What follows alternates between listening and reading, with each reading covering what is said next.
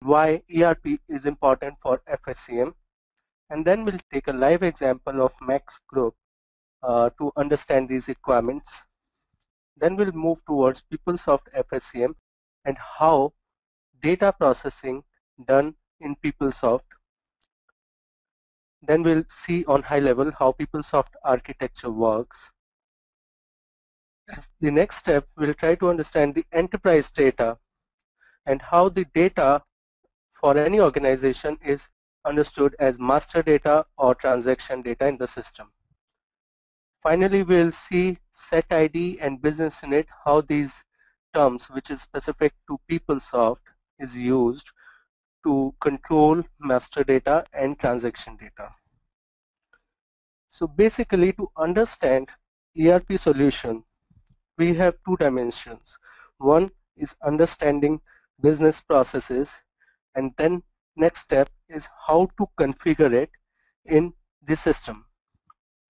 So in the first part, first two parts, we will try to understand the business processes and in the next, in the last part of enterprise data, we'll see the first step required for config starting configuration of these requirements in the system. So in this diagram, what we understand uh, why ERP is so important and useful in the current scenarios. So the most important feature for any ERP is the ability to provide a central database. So if we see from an enterprise perspective, then there are various departments which are actually working together to make it functional and each department has some data, requires some data input and provides some input to the system. Now if these systems are not interconnected, then the problem would occur. For example, if we don't know that what is available in our inventory system, then during billing, uh, we don't know uh, whether we would be able to provide that to customer. So having an ERP system in place we are actually connecting all these various departments together and finally helping our helping the top management to report the numbers properly.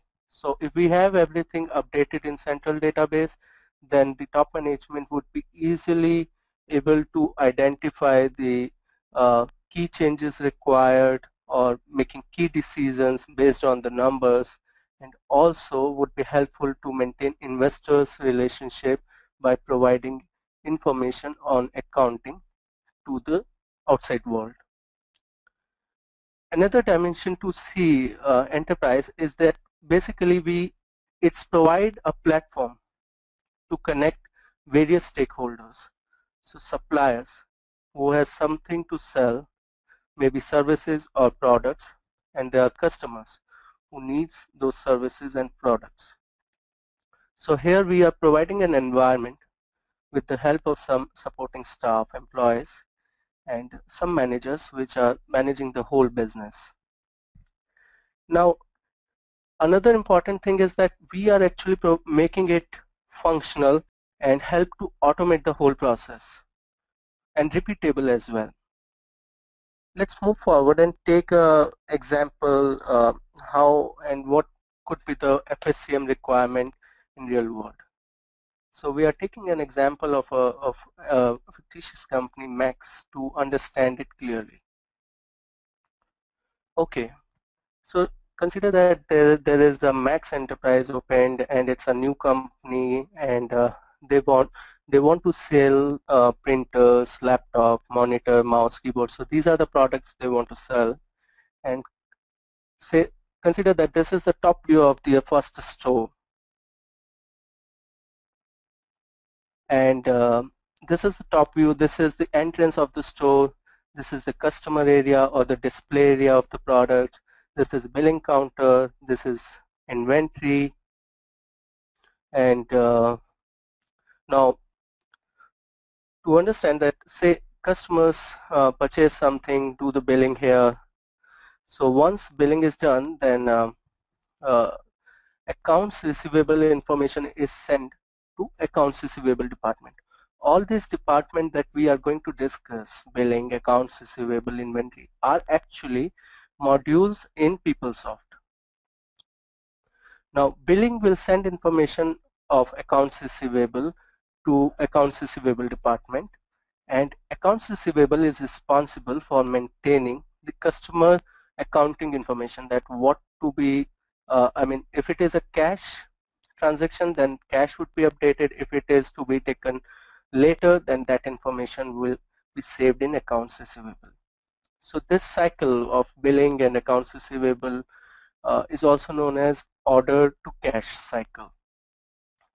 Uh, we also need uh, have requirement to understand the inventory um, for uh, maintaining and replenishing inventory, we need some more information. So accounts, now inventory is required for some product then we will go for purchasing. Purchasing department will take requisition for, from inventory and uh, create those um, uh, once that requisition is approved, they will create purchase order. Purchase order would be sent to supplier. Supplier will provide product we, once we receive that product, we will create vouchers in accounts payable. Accounts voucher uh, will be finally paid to supplier and this way we will maintain our inventory. So the whole process of accounts payable, supply and purchasing is also known as procure to pay. Now if you see that accounts receivable and accounts payable are basically maintaining the accounts information for Max Enterprise. Now this information need to be centralized for accounting purpose. So we need another module which is the core or heart of financial systems in PeopleSoft also known as general ledger. The information from accounts receivable and accounts payable will be sent to general ledger on regular basis. So once all this information in general ledger, it is available for final reporting to the managers. Now we see that uh, let's say that uh, the whole process becomes successful and uh, this was initiated in US. Now the good thing is that once they have this thing in place they can replicate the whole thing again in a different location. So this way they will grow. They have opened another uh, similar store in UK and uh, named it as Max UK and now they have two places where the reporting is to be done. They have same accounts payable, accounts receivable things but general ledger is now placed on a max group level. So all the information related to processing will be saved on max group general ledger level on a consolidated level on max group. So this, this could be one of the requirement in real world. Products may be different. There can be services instead of products, but the whole processing and the requirement of reporting, financial reporting will almost remain same. Let's get back to our presentation. So what is actually happening in PSFSCM?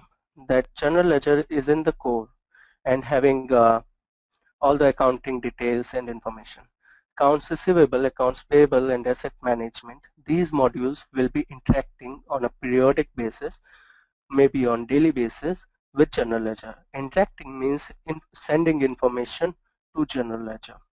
Other modules, billing, which will be interacting with accounts receivable, e-procurement and purchasing will be interacting with accounts payable. In some scenarios, billing also interact with general ledger. So this is all based on the organization requirement, how we design the system. So we need to understand their current processes and then to identify how to design the system. But in the Max Group example, this, this is what actually happening. Now if you see from processing in PeopleSoft perspective, then the modules or the departments we talk about billing, accounts receivable, accounts payable, asset management and expenses, they will be maintaining their accounting first on the on their own module in a different accounting entry table. So they will be having their own accounting entry tables and keep maintaining their data in it. Now, but our purpose is the financial reporting, which will happen from general ledger. So we need to move this detail into general ledger, this part. PeopleSoft deliver a process called journal generator that we can configure to pick information from various modules and place it in the centralized accounting journals. So journal generator, once we run the journal generator, this will pick all the accounting entries and place it in accounting journals. Here we will edit these journals to find to validate the information and then post it in ledger. Now journals are basically transactions. Ledger is the summarized form of those transactions. Ledger is the place from where we do all the reporting. And before doing reporting, you might need to do some more processing on the data which we need to design based on the requirements, regulatory requirement or the manager's requirement or investor's requirement, how we want to report that data. So these things depends how we see that data. But first step is to get the details from various modules into the ledger system. So this is the way we will get it in the ledger system. Now let's see what kind of processing we can do in general ledger. So far we have seen that uh, transactions from submodules are placed into general ledger system with the help of edit and post process. Once the data is posted, we have it in ledger. Now we can do some more processing on the data to make it more accurate and usable. So these are some of the processes that uh, we are discussing, these are common processes used in most of the organization. So say revaluation. Now we understand that uh, Max US and Max UK are having uh, are in different currency and may be doing transaction in multi-currency. Now to keep our ledger updated on a daily basis with the change in exchange rate, we need a process that when we run will update our uh, account details with the existing exchange rate. So that process we need to design revaluation process. This is a de delivered process but we need to configure it as per the requirement. So next process is translation process. Now if there is if if the organization is multi is a global organization having uh, centers in different countries. The countries having different base currencies. So Max US is USD, Max UK is GBP, but on the group level, we want to present it in a single currency. So that currency would be known as presentation currency. So what is what would be the requirement is to convert individual business unit accounting details into a presentation currency, common currency. So this process, translations, will help to convert that individual BU information into a single currency for group level reporting. Next process could be consolidation, which is useful when there are inter-BU transactions. So Max US and Max UK in itself are doing some transaction that need to be nullified for group level reporting. So that all task is done via consolidation process. The other two important processes are interim close and year-end close. Interim close uh, from, from accounting perspective, it will update your retained earning account, which is nothing but equal to your revenue minus expense. So it will give you uh, the retained earning uh, for that period. This generally run on a quarter basis or monthly basis. year-end close process, which is also one of which which is one of the most important process, and uh, all the annual level annual year reporting is done after running this process. This is run in the end of the year, and it actually do three three important functions. One, it updates your retained earning account by identifying revenue minus expense. Second, it will carry forward your balance sheet accounts to the next year. Balance sheet accounts are asset, liability, and equity accounts. Third, it will close your P&L accounts. That means that it will zero out your revenue and expense accounts. Obviously, we have moved the revenue and expense details into retained earning in the first step. So this way, we will be closing previous year and moving our uh, important accounting information as the starting of the next, which is also called period zero.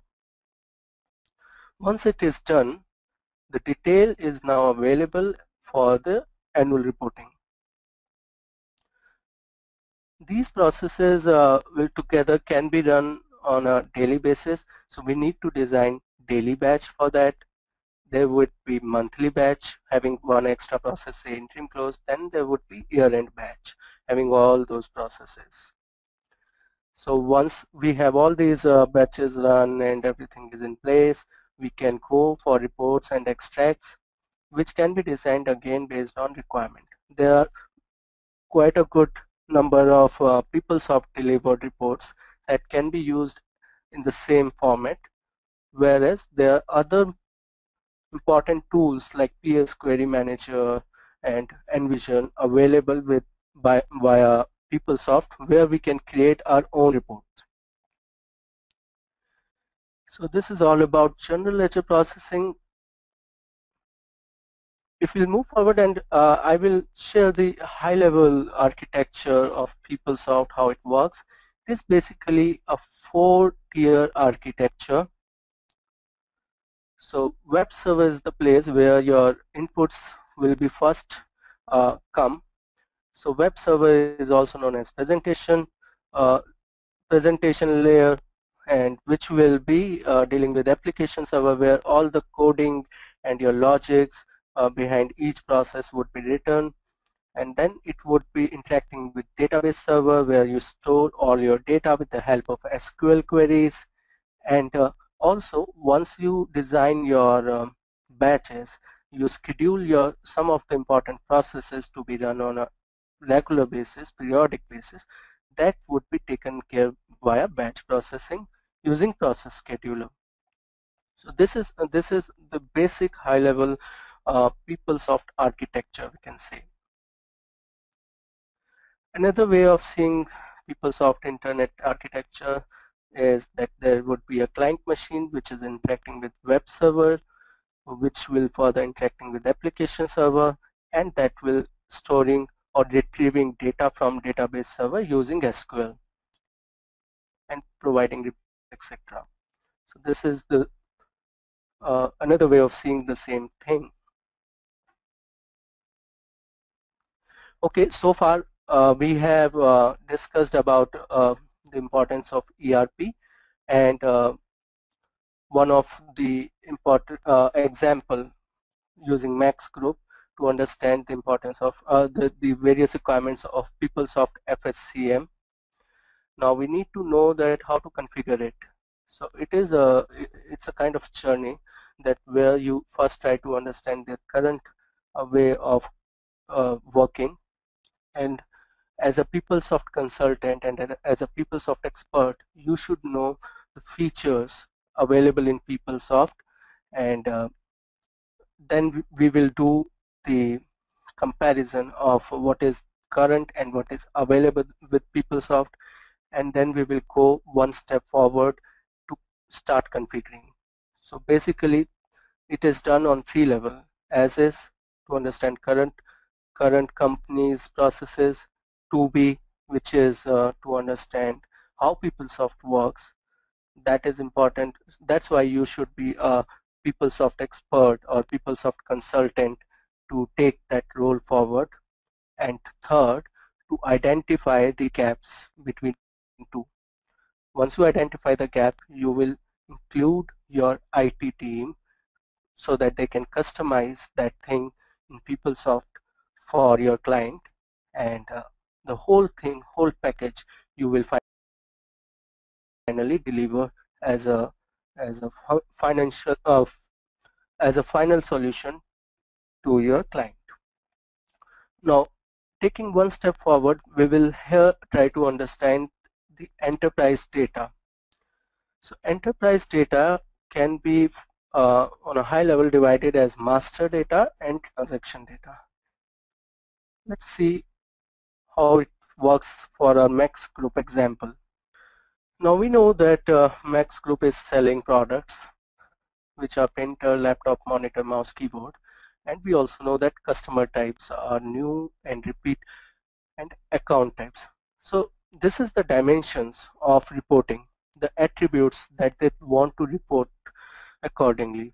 So this is uh, decided via on two bases. One is on the decision of the Max Group top management that what way they want to see the business and for making final decision. And another is the regulatory reporting, re regulatory requirement of that of of of the country. So based on that, they will identify the top these headers, what all they should use to uh, to report uh, to record their transactions. So account is a mandatory thing which will identify whether transaction is done on asset, liability, equity, revenue or expense. So to simplify the example, I just took one account per type, whereas there would be a, a list of accounts a list of accounts um, here. Now customer type they just want to see from new and repeat and product can be printer, laptop, this. So this is the master data at this stage for Max Group. Now if you see Max US, this is one example of the transaction for Max US. So they are just selling one printer, updating asset account and revenue account accordingly. So this is called transaction data. Now important thing is that transaction data can only use the existing master data in the system. So we cannot make any transaction on any other account other than these five because we have not created anything anything else in master data. So we need to identify master data and then only we can go ahead uh, for transactions because transactions are based on the master data. So Max US would be having their own transactions maintained separately under BU Max US and Max UK would be having maintaining their own transactions separately under head Max UK. So as we see enterprise data can be master data or transaction data. Master data can be of different types for example, accounts, product, customer type, department, operating unit, etc. This is also known as chart of accounts based on which we want to do transaction for the company. Then transaction data can come from various sources that are also called as submodules of the system, AP, accounts payable, asset management, accounts receivable, billing, etc. Then there could be manual entries as well for the adjust, adjustments and backdated entries. And then again, as discussed previously, there could be some system generated entries for revaluation, interim year-end close, and other processes. So this is called, this is the high level uh, master data and transaction data sources. In the system, Master data is known as chart fields for PeopleSoft and transaction data generally known as journals. And similarly in PeopleSoft it is known as journals. Okay, let's see what we have right now. We have a Max group which is having two uh, entities now, Max US and Max UK. Max US has base currency USD, Max UK has base currency GBP. We want to um, report on Max group level. So we need to have uh, consolidation and revaluation, all those processes that we discussed in place to make it functional. These are the master data dimensions that is defined on max group level and used for max US and max UK. So these will remain will be having the same values which would be applicable for max US as well as max UK. Now in PeopleSoft accounts master data is controlled with the help of set ID. So we can create a set ID named it max and define all these values under set ID max. Now these two units, max US, max UK, need to maintain their accounting separately. That means that they need to uh, record their transactions under two separate heads, max US and max UK.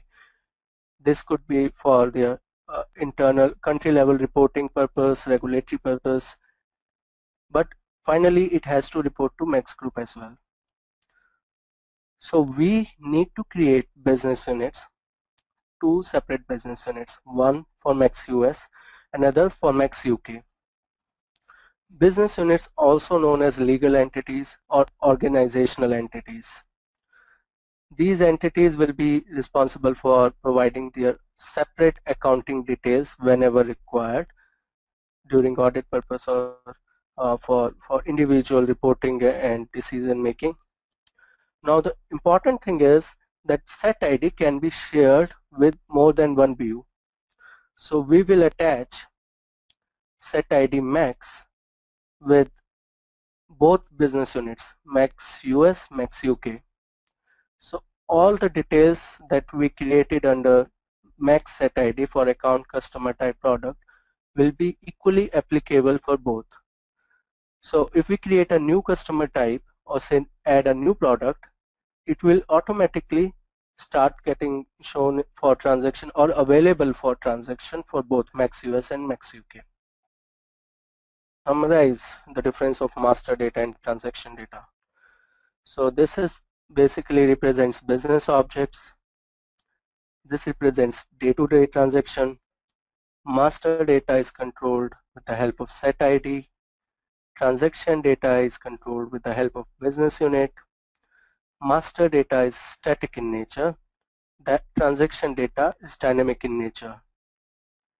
Static in nature, if I say master data is a static in nature, what it actually means? It means that any change in master data would require lot of analysis and management level approvals because it won't it just not only uh, make any um, uh, affect one or another unit, but the whole system. All the BUs that are using that master data will going to get impacted with, because of change in master data. Master data. So this is generally static in nature, but with the change in regulatory system, uh, say uh, there is no way, uh, new way of uh, uh, you need to go for IFRS 9 or uh, FinRep reporting, etc., then you, you might need to redesign your master data accordingly. And master data can be shared with different business unit as we discussed in previous slide, whereas transaction data is specific to particular business unit. Okay. Now, the next step, as we now know with the help of our analysis and going through the max requirement that we would finally need to create a new set ID called max and then need to create account uh, account product type and customer. And we also need to create two new GLBUs one is max US and max UK so as a part of uh, we we would be providing a demo video to you guys. Uh, for you to go through and see how in the system we log in and create both of these things, uh, set ID and business unit. So it's a separate video, a five minutes video, where I uh, where we explain how to create these things in in the system. Okay, that's all I have for for the presentation. So if we go for the recap for what we discussed in past 35 or 30 minutes, then what we started with understanding FSCM requirement. We take example of Max Group to see uh, how uh, uh, uh enterprise uh, start with a single store and can be multi-store in multi-location and how we're going to use max uh, group level reporting and recording of the financial information. ERP's most important features are uh, centralized database, automation, streamlining of the process, reusability of the whole uh, whole setups. So we just need to create extra views for adding one more store. Then we see through PeopleSoft FSCM how processing is done, what are the important processes required, how various modules are interlinked, when and with the help of which process we update general ledger and the other general ledger processes required for further data processing for final reporting. So under enterprise data, we learn how to use how we identify master data for for any organization, what is the importance of master data, and then transaction data, which is based on master data and daily transactions done. The use of set ID and business unit in PeopleSoft to control and create master data and transaction data respectively. And finally, we will going to share you two exercises, how to create set ID and business unit in the PeopleSoft system. That's all I have uh, with me at this stage for uh, related to PeopleSoft financials as an overview. Thank you for listening carefully. Over to you, Prashant and Mayank. Thank you, Arnav. That was really a nice presentation and you put it everything correctly over there. So guys, as you saw, there are so many different things that we discussed today. Some were basic concepts in finance and some were like detailed. Some of you would already be working in finance. You know about those things, but many of us, you know, who are new to finance, these things are, we, have, we still need to take some time to learn about all those things. As Arnav said, we are again going to send you some more videos, pre-videos, which you will you know, build up the understanding based on what we learned today. We have something else for you. Today, we'll show you that all these things for finance, if you want to be an expert in finance, what all the things that you need to know. This was just the starting point today. We have built up a finance course for you. And this training course is specifically designed for anyone who is new to PeopleSoft or new to PeopleSoft Finance. It will start from the scratch and it will take you to the most advanced concepts this training course is not like any other training course that you may have seen. The reason being here, the advantage is that trainer has more than 15 years of experience in PeopleSoft Finance. He has worked with different clients and he has on-the-job experience. So everything that will be shared with you will be based on their experience. So let's quickly take a look at the topics that will be covered in this presentation. We will be covering PeopleSoft system structure. We'll discuss about structure, of PeopleSoft tables, how to retrieve data, how to illustrate effective dates, and we'll you know start with business units and set IDs, how to identify different you know, PeopleSoft tables, what are different business units, set IDs. Then we'll discuss chart of accounts and chart fields. As you know, that these are two again important concepts in PeopleSoft Finance. Then we'll discuss the PeopleSoft business process overview. In there, we'll see what is the high-level implementation steps for PeopleSoft Finance. Then we'll see ledger table structure we'll, different we'll see different integration points and then we'll discuss about you know accounting structure what are ledgers journals and what are ledger groups what are ledger you know journal sources journal templates we'll discuss how to create the general ledger structure installation options and common definitions as you might have already got an idea we are going to cover each and everything so if you are if you have never worked with PeopleSoft Finance this is the course that you should be doing. Then we'll discuss planning and creating PeopleSoft trees. And we'll be preparing for journal processing, in which you can see those who who know about PeopleSoft finance, they can they know that all these topics are really important in terms of PeopleSoft finance, and that's why we have covered. We have included all those topics that we feel um, a must for any PeopleSoft finance consultant to know. Then we'll discuss about chart field combination editing, in which we'll see building combo edit data. Then we'll see how to process general ledger data. All these details which I'm discussing right now, you will also get. I'm going to share a link with you where you can go and look at all the topics that will be covered in detail so that you don't have to remember or write note anything right now. Then we'll see how to import spreadsheet journals. You will see like how to configure workbook chart fields, how to import journals to general ledger. You'll see implementing the inter-unit and intra-unit accounting, how to perform year-end and interim close. You, you guys know it is really important. Defining document sequencing for general ledger, then we'll see PS general ledger batch scheduling, and we'll see PeopleSoft financial allocation, PeopleSoft security for general ledger. So we'll cover the basics for security, which is part of, you know, you need to know for general ledger. These, this is a topic that we'll be covering in our PeopleSoft Finance live training. This is going to be a live training which will go on for weeks and you will have classes every day in a week, not every day actually, few days in a week. So this is not just the course. So what else you will get from this training? We'll have concepts and theory sessions. We'll have practical and demonstration sessions where we'll actually show you how to do those things. We'll give you assignments as well, which you can practice so that when you come to the next session, you're ready with the things that you have learned. Like today's session, all the things, all the theory, all the practical, all the demonstrations, everything will be recorded. And you will get lifetime access to those recordings from our training platform Skillsvine. We'll have doubt clearing sessions as well. We'll also share some helpful guides such as yeah, like how to guide. We'll also share the troubleshooting guides. Troubleshooting guides are developed, you know, based on the year of experience that you have. Our trainers have a lot of years of experience and they have seen issues which you don't find, you know, if you go on Google, you won't find solution for everything, but we'll give those solutions to you as part of troubleshooting guides. And we'll also have quiz.